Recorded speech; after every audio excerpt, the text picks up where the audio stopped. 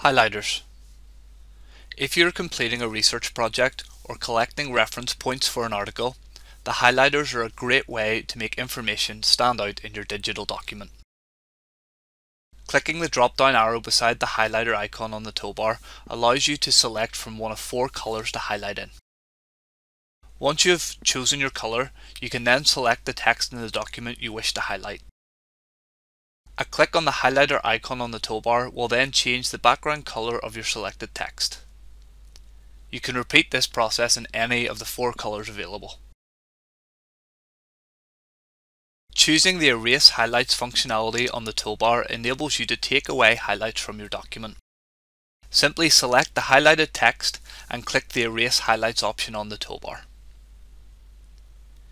If you would like to take your highlighted content to a new document, you can do so by selecting Collect Highlights on the toolbar.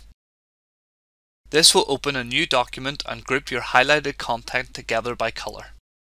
There is also a handy bibliography at the end of your content. By going to the Highlights panel in the settings, you have the ability to tailor how the feature collects and orders your highlighted content.